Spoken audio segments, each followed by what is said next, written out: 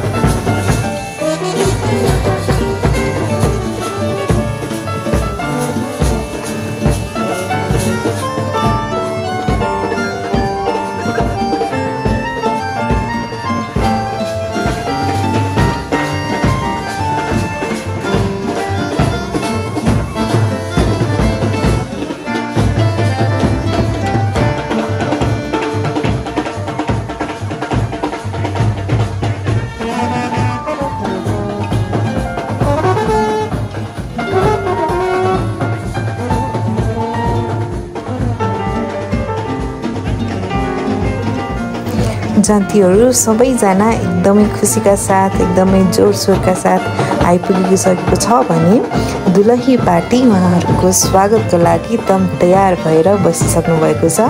यहाँ विष्णु दिदी हुनुहुन्छ यहाँ नानु र अरूहरू थुप्रै छन्।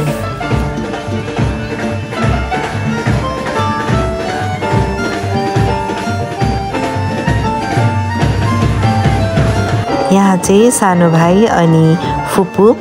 जन्तीको पर्खाइमा तयारीका साथ बस्नुभएको छ। भने म चाहिँ एकछिन क्यामेरा मेरो हस्बेन्डको हातमा दिएर म पनि यसो जन्तीलाई कुरिरहेको छु र अब चाहिँ जन्ती पनि भित्रिन थालिसकेको छ।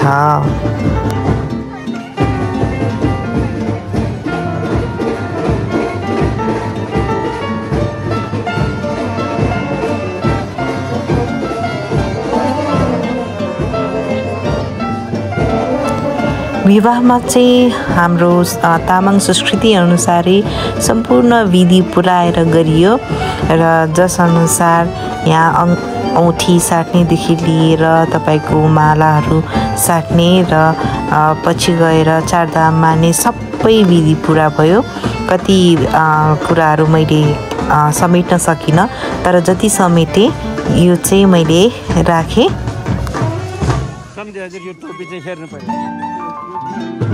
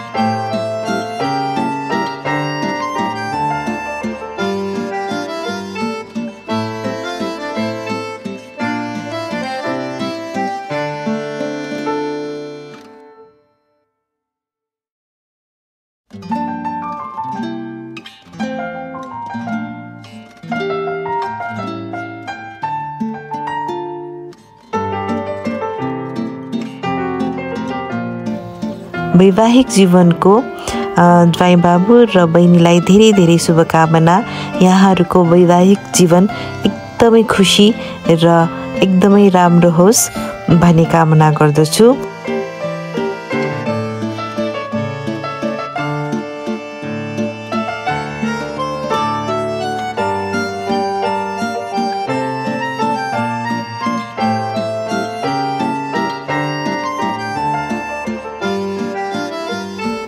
मेरो यो भिडियोको म अब अन्तिम अन्तिम चरणमा आइसकेको छु।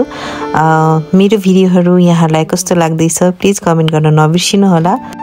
मेरो च्यानललाई लाइक सब्सक्राइब र सेयर गर्न नबिर्सिनुहोला। यहाँहरूको समय शुभ रहोस्।